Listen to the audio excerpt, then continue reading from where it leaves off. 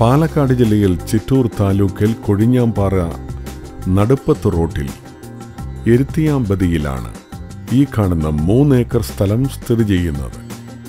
കൊഴിഞ്ഞാമ്പാറ ടൗണിൽ നിന്നും മൂന്ന് കിലോമീറ്റർ മാറിയുള്ള ഈ സ്ഥലത്ത് തെങ്ങാണ് കൃഷി ചെയ്തിരിക്കുന്നത്.